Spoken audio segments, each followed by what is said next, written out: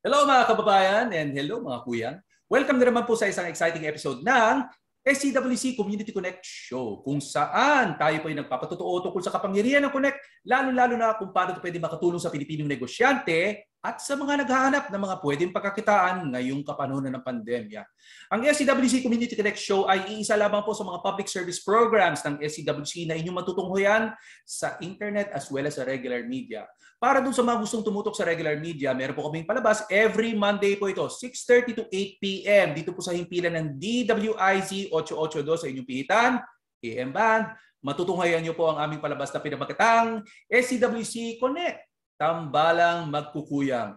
It's a great show. Bakit kamo? Dahil marami po kayo matutunan, matututunan dito tungkol sa negosyo, tungkol sa usapang legal, medical, at kung ano-ano pa. And if you're stuck in traffic, during these times, EDSA and all of these busy routes, imbis na mabuisit kayo, buksan nyo yung radyo nyo, pakinggan nyo kami para naman maging productive yung inyong time on the road. And for those na medyo busy, during that time slot and during that day, especially mga nanonood po overseas no, na gusto maka, maka-catch nitong tambalang magkukuyang, eh pwedeng pwede po dahil meron pong Facebook page as well as YouTube channel ang DWIZ. Now here's another plug. Just in case free po kayo ngayong coming Saturday, no, November 20, meron pang isang advocacy ang uh, ACWC. Ito naman po ang aming dugong mason which we've been doing for several years Uh, ito po yung gaganapin dito sa Marikina Sports Complex sa lungsod ng Marikina. It will be from 8.30 to 12 noon. So alam niyo naman po, dahil sa pandemya, yung mga tinatamaan ng COVID, nangangailangan ng dugo, di ba? So just in case libre kayo at kayo healthy-healthy, meaning to say hindi naman kayo mapipinsala kapag mag-donate kayo ng dugo, drop by the Marikina Sports Complex ng uh, November 20 between 8.30 to 12 noon donate some blood, and be a hero. Okay? So, it's now time to ask itong napaka-importanting tanong na tinatanong ng maraming mga viewers. Pag nanood kami ng palabas nyo ngayon, paano ba tayo pwedeng kumita? Hmm. Ang sagot sa tanong na yan ay related dito sa article na ito. I'm flashing on the screen right now uh, a headline mula po dito from uh, the uh, National Nutritional Council of the Philippines website. It's dated July 31, 2021. And the headline reads, Healthy ulam does not have to be expensive. Hmm. Medyo related to dun sa isang uh, flinash din natin na article no, in a previous show kung saan sinasabi na ang mga grocery items dito po sa bansa natin, sa Pilipinas, is the cheapest in Southeast Asia. That's very, very good news kasi napaka-basic po itong pangangailangan natin sa pagkain, di ba? Food, clothing, shelter, kasama po yan. So, ulam is a form of food at dahil nga murang-mura, di ba? Magandang ipang negosyo po ito. So, related po yan dyan ng business opportunity na pag-uusapan natin. And then para sa ating Connect Testimonial, related pa rin sa ulam. Uh, pag-uusapan natin ng isang pamosong kuyang at ang kanyang paboritong ulam and paano niya tulungan yung komunidad kung saan nang galing yung ulam na yan. O, very relevant kasi kailangan din natin tumulong sa ating komunidad ngayong kapanahonan ng pandemya. And towards the end, we'd like to reach out to other entrepreneurs na may magagandang mga business ideas related to ulam or anything else na pwedeng mapagkakita ng ating mga viewers. If you have that, please get in touch with us drop us a line and we're willing to host it dito sa show para mas marami pa po tayong pwede matulungan na ating mga kababayan. That's the summary of our show and it's now time to meet our special guest for today. Siya ay walang iba kundi si Miss Ava Santos from Ulam Mama. So, Miss Ava, hello, hello. You could greet our viewers. Hello po sa inyong lahat. Hope you're having a good time watching this program. Thank you so much for having me, Sir Joel. Okay, okay. Thank you po. So kita-kita yung kanyang logo, no? Ulam, Mama, no? Briefly tell us about yung inyong uh, business. And okay. uh, paano ba 'to makakatulong sa ating mga viewers na nanonood ngayon? So, especially ngayong pandemic, um, mm-hmm. syempre nakakatakot lumabas palagi para mamalengke at right grocery, 'di ba? So mm-hmm. since we started uh, last year, ang uh, ang naisip namin na gawing business is pre-packaged meals. So mm. itong mga ulam na to, itong mga ulam na favorite natin at ulam na favorite nating bilin sa labas or lutuin or bilin sa labas, gagawin naming mas actually ginawa naming mas accessible para sa lahat. So it's available frozen at higit sa lahat, hindi mo kailangan bumili ng isang malaking serving. So ang aming uh, pre-packaged meals are single serve. So kami lang ang single serve na frozen sa market ngayon. Um, uh, dahil mainly because we don't want to waste na parang pagkaininit mo ng isang beses, babalik mo sa ref kasi hindi mo na ubos. Mm. So, ano din siya. At the same time, the product is designed para maging, ano siya, income generating. Uh, itong mga frozen meals na to come in 100, initially 120 gram packs lang meron kami uh, yung 120 gram packs na to pwede mong gamitin sa negosyo mo na rice bowl business. So it depends up it's it depends on your diskarte sa business kung uh, gusto mo ng frozen na ibebenta mo or gusto mo magbenta ng parang rice meals talaga kasi nga ngayon din uso yung mga food delivery apps. Mm. So very hindi lang food delivery apps pati yung door-to-door delivery o kaya meron kang motor uh, gusto mong magbenta ng free delivery na para mas ma-encourage mo yung mga customers mo na mag-order sa'yo, pwedeng-pwede rin yan. You don't have to add anything to the pack. So, kung ano yung nasa pack, yun na yung, yun na yung i-serve mo sa customers mo or ihahain mo sa family mo. Less hassle because all you have to do is either microwave it or boil it in a pot of water. So, madaling-madali lang siya i-prepare. Uh, even if you have no manpower, pwede mo siyang i-operate. Napakadali lang and very, very easy. Plus, six months yung shelf life niya ng frozen. So, mm. hindi mo kailangan magmadali na, ay, mapapanis na yung, ganito, mapapanis na yung, yung aking product. Hindi mo kailangan na magmadali. So, that's Ulam Mama. Yan ang uh, pinaka-product namin. Ngayon, available na rin siya in 250 gram packs for sharing. Para sa, para sa mga matatakaw. Ayan. Yes. para sa mga between 120 grams, uh, naglagay na rin kami ng 250 grams uh, ngayong November because uh, kami din ay nag-celebrate ng aming first anniversary serving you. Congratulations! Uh, Thank you so much.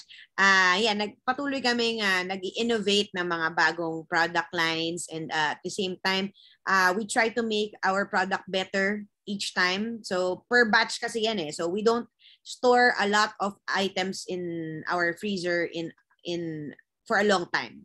Hmm. Kumbaga, kasi nga six months yung shelf life niya, kailangan always bago yung mapupunta sa aming mga customers.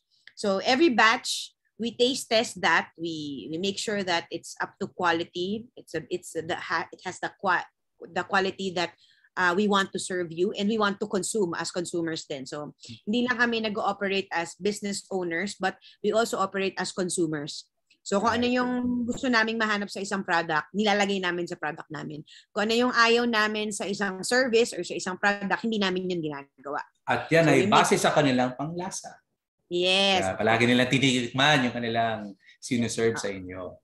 Uh, we of course acknowledge that taste is subjective, no? Mm. It's something that uh, magkakaiba kung ano yung masarap sa akin, pwedeng hindi masarap sa iyo at kung ano yung masarap sa iyo, pwedeng hindi masarap sa akin. But two of our company owners are also professional chefs. So kung magagamay na nila yung panlasa, hindi masyadong maanghang, hindi masyadong maalat, hindi masyadong maasim.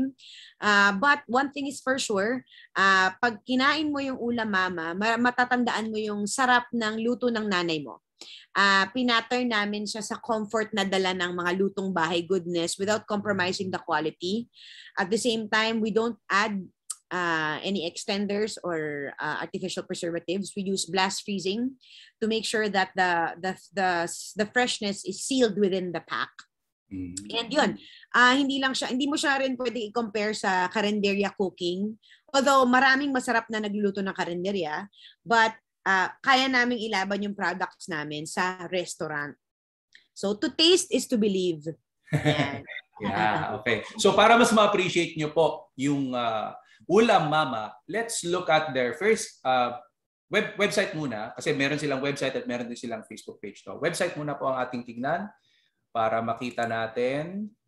Yan. So I'm now sharing it on the screen yung kanilang uh, website, no? So dito po meron tayong uh, yung kanilang mga recipes. Makikita natin maya-maya lang po. But siguro mag-highlight din po tayo dito sa kanilang story para makita niyo yung kanilang uh, origin. Na, ben, na banggit sa akin ni Miss Ava kanina that uh, they only started last year. At uh, yun, kapanunan ng pandemya. No? So, kumbaga, uh, many of the important trends na dapat i-take into consideration ng mga nagninegosyo, especially when it comes to food, they have already factored that in sa kanilang uh, negosyo. No? Katulad nga, yun na nga, di ba, marami mga tao hindi na lumalabas dahil nga doon sa mga lockdown, dahil doon sa mga quarantine. So very in na itong tinatawag natin ng mga frozen foods. So, ayan, meron nandito yung kanilang vision. Um, ngayon ah, yes, siya naging hmm.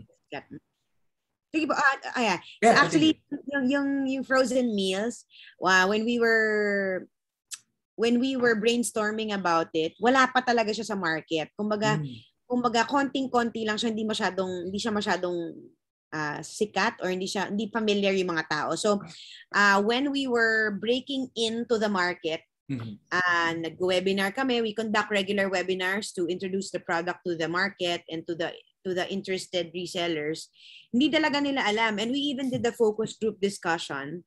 Uh, wala talagang ganito sa market until nagkaroon ng talagang iyan yung mga lockdowns hanggang sa na-extend na na na-extend yung lockdowns. Uh, nag-start ang lockdowns March pero nag-start kami niyan mag, mag, mag-brainstorm mga April, May and then we finally started ng July. So we, and then November pa kami nakapag ano. And even then, wala pa masyadong uh, products like this in the market. At sa katunayan, kami ang first single serve sa market. Wow. So, pioneer, ang galing. Claim yeah, to fame. yeah. So, uh, meron naman ngayon, meron pa rin naman ngayon na other uh, uh, uh, kumbaga direct competitors namin na ganyan, uh, frozen meals, ganyan. Uh, pero wala silang uh, single serve. So later on na lang din sila naglabas. Uh, parang ang meron talaga sa market ngayon is the 500 grams and the 1 kilo. Mm-hmm. Uh, yan. So kami yung talagang isang ano lang. Para kung ano lang yung gusto mong kainin, yun lang yung iinitin mo. Okay, okay. So here are some sample uh, products nila. no Beef caldereta uh, for 85 pesos only. Uh, pork sinigang for 75. Bicol Express for 75. Yun ang uh, nabanggit na ni Ms. Aba. This is for single serve. Yeah. Uh, meron din silang, they have several actually, you know, chicken recipes, pork recipes, beef. Meron din silang vegetable recipes. No? Kasi uh, kadalasan pag sinabi mong ulam, it's mostly yung the meat stuff. Meat. Pero meron din silang vegetable recipes. Yan. So makikita Actually, natin. kung ano pa yung vegetable, yun pa yung bestseller namin talaga din. Well, siguro dahil maraming tao ngayon ang mas ano din, parang maingat din sa pagkain. Mm-hmm. Oo, lalo-lalo na na 'di ba, you get less exercise. So, syempre iwas dun sa mga may cholesterol. Correct. Kaya Plus, vegetables ang very yes. it's very affordable also. Hmm. Yeah, yeah, yeah. So, ayan po. I'm also flashing on the screen yung contact information nila just in case you want to get in touch with them tawag lang po. No? Now, before we go doon sa kanilang Facebook page, I'd like to remind yung ating mga viewers na naghahanap ng mga pagkakakitaan, dalawa ang ating pwede pagkakitaan dito. First is you can be a reseller. Okay, for as low as 2,000 pesos, pwede kayong maging reseller. But, para naman doon sa ating mga viewers na wala, as in laway lang ang puhunan, yes, you can also get a referral fee for minimum orders. Uh, tsaka meron din kasi silang physical store, uh, sila Miss Aba, no? Ayun, ma- yes, ma-meet nyo lang yung minimum order po nila doon. Pwede po kayong bigyan ng referral. Ano. Yes, Miss Ava, could you say something about your store? Your physical yeah, store? meron kaming uh, first kiosk namin sa SM North EDSA supermarket. Mm. Uh, we, we opened that, I think, um, July of this year or August ba? Yeah, mm-hmm. July of this year. Uh, so we wanted to test the franchisability of the of the model. So eventually, we want to open several more stores in different supermarkets in Metro Manila, and then eventually open up a an actual franchising uh, opportunity for people who are looking for a stable rice bowl business. So we don't want din kasi na masyadong madaming uh, masyadong madaming complications when it comes to operating the business. So uh-huh. ulam mama is very easy. All you have to heat it, microwave it, and it's very easy, very fast. So, madali siyang i-operate, madali siyang patakbuhin. So, ito. Oh, meron tayong video ni Miss Aba dito. Yan, panoorin nyo. Napakagandang video yan. Uh, pero one, one interesting question, parang ano ba, mas mas tumaba ba kayo dyan? Mas pumayat? Mas tumaba. tumaba ako dyan. Disclaimer ka agad, ano? Alam mo naman na pandemic is very, very, ano, parang pag naka-lockdown ka, we shot that during the lockdown, hindi naman the lockdown, uh, parang after the lockdown. Uh, uh, kumbaga nung kaka-lift lang ng lockdown, nag-shoot kami, tapos uh, talagang medyo laging gutom eh pagka nasa loob. Parang wala ka Laging gutom at masarap ang pagkain nyo. Yo. Oo. Eh, syempre, Sino ba nang hindi makaka-resist ng Correct. lasa ng ulam mama?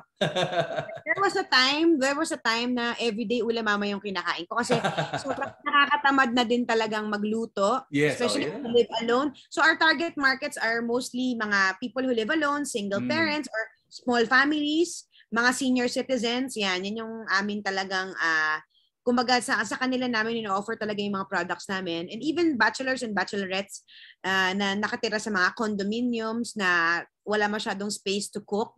Mm. So sila talaga yung target markets namin dahil very, very convenient for them. Ang daming pagpipilian. We have 20 variants to choose from. Kahit isang araw, isang ulam ang iyong orderin. Hindi ka magsasawa dahil talagang masarap talaga yung mga ulam.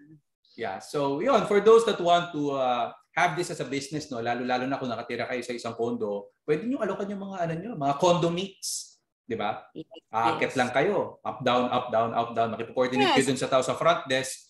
Uh, para maano. At saka another good thing about yung ganitong klaseng negosyo is that you don't have to put at a physical store. Yes. Uh, everything is just freezer lang, 'di ba? Or yes. or ref, pwede mo siyang ilagay. 'Yon. Correct. So also, kung halimbawa na nakatira sa nakatira ka sa condominium, uh, you can collect orders. Mm. Then para ma-meet mo yung 2,000 minimum namin o at least meron ka ng extra income agad noon. Nag-order ka para sa sarili mo, mm. nag-order ka, nag-collect ka para sa ibang tao. At may kita ka pa. Yes, kumikita ka pa. So, at free delivery din yan. So, mm. hindi mo na hmm. kailangang isipin yung shipping fee, courier fee kami na ang bahala basta within Metro Manila ka, i-deliver namin sa iyo for free yung mga items mo basta ma-meet mo yung minimum order requirement namin of 2,000 pesos. Yeah, yeah. Tsaka ano, tawag dito, di ba maraming mga lumalagari ng ganyan sa mga call center, di ba? Ah, yes. Uh, sila ang kumbaga nagko-consolidate ng mga order ng mga kasama nila sa call center para isang bagsak na lang, di ba?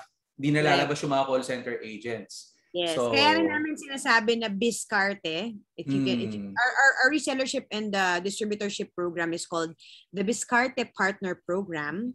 Uh, bakit Biscarte? Kasi ano bang diskarte mo sa business? Iba-iba ang, kumaga, uh, malaki ang diferensya ng ng tao na may pangpuhunan pero walang diskarte or biskarte mm-hmm. at isang tao na uh, kailangan pang mag-loan or kailangan kumuha the savings, pero maganda ang diskarte, maganda ang disposisyon sa negosyo. So, uh, kahit gaano kalaki ang iyong uh, starting capital, kung hindi ka naman, uh, kumbaga, hindi mo talaga pinupush yung product mo, hindi mo pin, hina-highlight ang advantages ng product mo, hindi mo yan mabebenta. Pero kung ikaw ay ay may maliit na capital, mag-start small ka, pero talagang masipag ka na mag-market, masipag ka na mag-high Mars.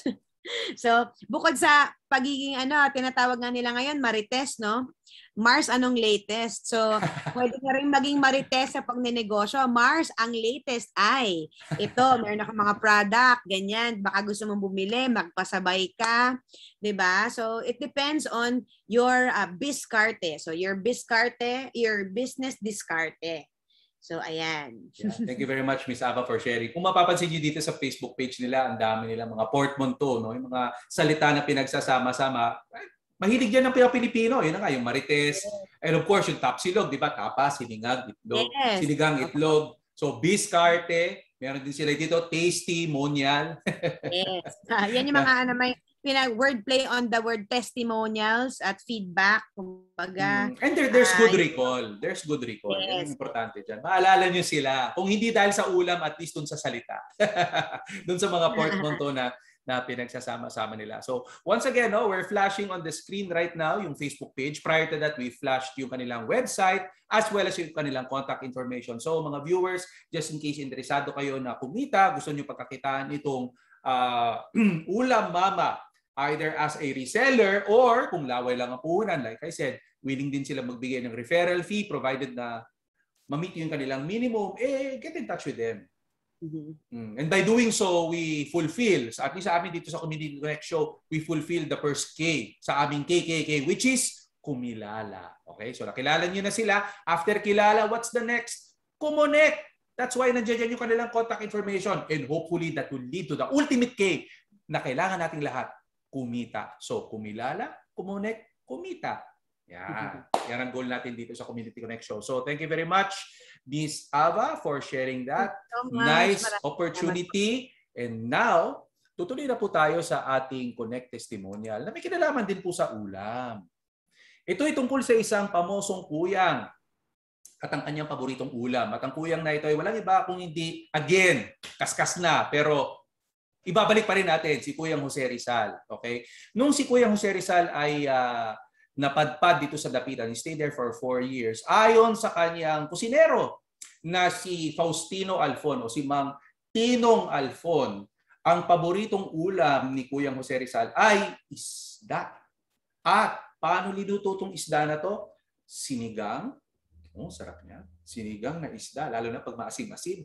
And uh, pwede ring isdang paksiw and isdang sinumba. O kasi Cebuano tong si ano eh, si Tinong Alfon. Kaya sinugba, di ba? Galing sa Cebu. So tanong natin si Miss Aba, meron bang mga ganyang ulam sa ano, ulam mama? Wala. wala pong wala pong isda sa lineup namin. We wanted to have a paksiw na bangus hmm. before nung aming ano, pero nasa development pa rin po siya ng recipe because of course we want only the best for our customers. So kung hindi pa namin nare-refine yung product, di namin nilalabas. So of course, uh, maganda sana no na meron lahat. Pero again, uh, Ula Mama focuses on only the best products that we want to serve our customers. So we don't want to give you anything that's half-baked or half-cooked. well, half-cooked. It's Ayan. okay. Nakwento, nakwento ko lang naman ang paboritong ulam ni uh, Kuyang Jose Rizal. And ano ang kinalaban nito sa pandemya? Itong ulam na to, remember, di ba nandun siya sa dapitan. Anong ginawa ni Kuyang Jose Rizal dun sa dapitan? Ah, napakadami. O, dun sa four-year stay niya sa dapitan. Una, siya ay nagsaka ng isang 39 hectare farmland dahil meron siyang isang pasyenteng natuwa sa kanyang treatment. Binigyan siya 49 hectares. Sinaka niya yan. Pangalawa, siya ay nagtayo ng isang school. Oh. At siya pa nagturo dun sa school na yon. Pangatlo, siya ay nagtayo rin ng dormitory para doon sa mga estudyante sa school. Pang-apat, nagtayo rin siya ng clinic kung saan pwede siya mag-offer ng kanyang mga medical services. Kaya nga niya na yung 39 hectares eh, dahil sa kanyang paggagamot. And then, tumulong din siya sa pag-develop ng irrigation system doon sa dapitan. Tumulong din siya sa pag-set up ng lighting system para may liwanag ang buhay Diyan sa dapitan. And ito ang pinakamatindi sa lahat nung siya tumama sa loto. Oh, so mga hindi nakakalam, tumama si Rizal sa loto uh, during that time, no? 1892, ang kanya na panalunan. Bagamat sasabihin nyo, ay napakalit na halaga yan nung panahon natin, no? pero during that time, no, 6,200 pesos ay napakalaking halaga na. Yan ang napanalunan ni Rizal. And when he won that money, alam niyo ginawa niya? Abay, i-donate pa sa isang educational project dyan sa Dapitan. Diba? So, please take note Si Rizal ay hindi politiko. Ordinaryong mamamayan lang siya. Katulad natin. Katulad nyo, katulad nating lahat. Ordinaryong mamamayan. Kasi a lot of people think, ay, dapat maging politiko ka para makatulong. No. Kahit ordinary citizen ka. And you know, when you talk about the government, ito na nga eh. Kulang na nga resources ng government eh. Kaya kinakailangan nga natin, ordinaryong mga mamamayan na tumulong. Do our share in in helping out. I-plug ko rin no dahil nga uh, dun sa mga taong gustong maka, makaalam kung ano pang mga pinagagagawa na kagandahang uh, ayuda or tulong ni Rizal dyan sa Dapitan, please check out yung uh, Rizal sa Dapitan movie starring Albert Martinez and uh, Amanda Page. It's available on YouTube for free. Hmm. Marami pa kayong mapupulot tungkol sa mga ginuntuang aral ni Kuyang Jose Rizal dyan sa movie na yan. And I'm gonna share a quotable quote galing din po kay Kuya Jose Rizal. Ang sabi niya, on this battlefield, na parang katulad natin ngayon, na dumadaan sa pandemya, parang dumadaan din tayo sa isang battlefield. On this battlefield, man has no better weapon than his intelligence. No other force but his heart. Let me repeat, on this battlefield, katulad ng pandemya ang pinagdadaanan natin ngayon, man has no better weapon than his first intelligence and no other force but his heart. So itanong natin si Miss Aba. Ano masasabi niyo tungkol sa quote ni Kuya Jose Rizal? Do you agree with what Kuya Jose Rizal said? Yes, I agree. I agree. Kasi uh, ito nga, itong pandemic is a battle, no? So maraming yeah. nawalan ng mga trabaho, maraming nawalan ng loved ones.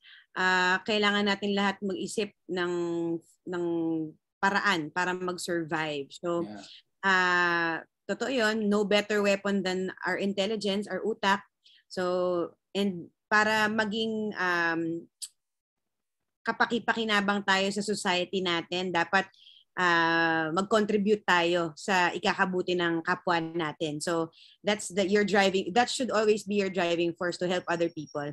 So ganoon din sa Ula Mama, i-relate ko lang. Sure. Um yung mapapansin nyo yung, yung minimum order namin is only 2,000. Sa iba, if you compare it with others, talagang 5,000 ay mataas talaga yung kanilang mga hinihingi na minimum requirement. Because after all, business is business pa rin. But uh, parang for us, in order for us to stay uh, long in this food business because uh, sa dami ng competitors because it's a food business is a big market eh. So marami ring competitors. Our uh, driving force talaga is to help other people start again. So, uh, minsan, kahit anong isip mo ng diskarte, minsan marami naman po tayong mga ano eh, mga, yun nga, tao na maraming maganda ang diskarte sa buhay pero walang kapital. So minsan kahit anong isip mo, hindi mo ma hindi mo ma isa katuparan yung mga pangarap mo sa buhay. So diyan papasok yung mga tao yung mga companies na katulad namin, yung mga brands na katulad namin na nagamit na namin yung utak namin, sinishare na lang namin sa inyo. So, kumbaga, yung, yung heart namin to help other people to start again is something that we're very proud of and uh, we, we encourage everyone to utilize it. Kumbaga, negosyo, ang, ang, ang food business naman is negosyong walang tapon. If you can't sell it, you eat it. 'di ba? And apart from that, we also uh, from time to time as part of our advocacy also to not let our kababayans go hungry, meron kaming um, feeding program from time to time. Mm. So we did that last year, uh, last Christmas with in partnership with the Heart Foundation and then December with different corporate companies. So meron kaming mga uh, corporate clients na na nag-inspire sa amin to do fund uh, fundraisers and um, uh, feeding programs para para mapakain natin yung mga tao sa kalsada because kung yung mga mamamayan na empleyado na nawalan ng trabaho, may bahay, minsan bitin ang budget para sa pagkain. What more yung mga walang bahay. So doon kami tumingin and uh, apart from helping through business, meron din kaming talagang charity na nilatag para sa kanila through food because hindi lang kami kumikita, nakakatulong pa kami. So it's a way of our uh, way to give back to uh, to our brothers and sisters as na less fortunate than us. So, just the same ngayong taon, meron din kaming feeding program in partnership with the, kasi sa Mandaluyong kami. So, uh, with a, an emergency response team sa Mandaluyong. So, yeah. So, that's how I can relate the the quote, no? Very inspiring. Talagang ha, ha, heart and and utak. Intelligence. Oh, yes, you have to go to go hand in hand. Yes. Mm. But not only that, heart, utak, and connect. Because some people, they do not have all of the resources. Correct. They do not have all of the resources. So some people might want to get involved with the food business. Kaso, wala sila yung resource nyo. That's yes. where Connect comes in. Pinapakilala na namin ang ulam mama sa inyo. All you have to do is just reach out. Hindi na nyo kailangan mag-formulate ng mga recipe-recipe. Ginawa na po ng ulam mama yan. Ginawa yes. na nila yan. But they cannot do it alone. Mm-hmm. You can help. You can partner with them dito sa business opportunity na to either as a reseller or like I said, kung walang-wala kayo, laway lang puhunan, you could start by earning through referral fees. Mm-hmm. And over time, over time, unti-unti nating mai-uplift yung ating uh, lokal, katulad ng ginawa ni Rizal dito po sa Dapitan. So, well said po, Miss Aba. Napakaganda ng mga examples na nabigay nyo. Uh, pwede, para kumbaga sa Connect, no, I get by with a little help from my friends, sabi nga ng Beatles. Wow. Ayun, yan, yan, yan. Oh, that's that's the Beatles for you. so, basta nandito lang po kami. Kaya, yung mga viewers po natin dyan that are also entrepreneurs, katulad po ni Miss Aba, if you have very nice business ideas, very nice business opportunities na pwedeng makatulong sa ating mga kababayan, it doesn't have to be in food.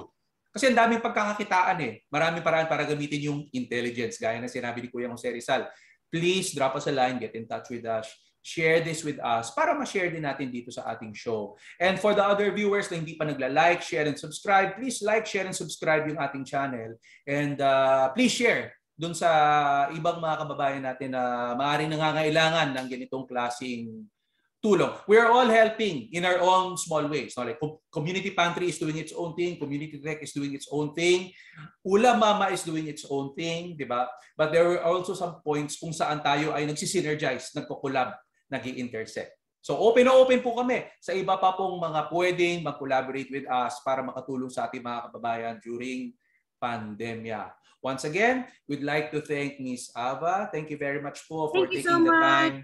Ulam Mama, more power po sa inyo, sa inyong business as well as yung inyong advocacy. And we'd like to end the show by saying, mabuhay po ang ating mga makarisal na mga entrepreneur, yung mga gumagamit ng intelligence at heart. Katulad nga ng sinabi ni Kuya Jose Rizal, on this battlefield, man has no better weapon than his intelligence and no other force but his heart. Mabuhay po kayo, mabuhay po ang sambayan ng Pilipino, at mabuhay po ang masoneriya. That's all for now and see you in the next show. Bye-bye!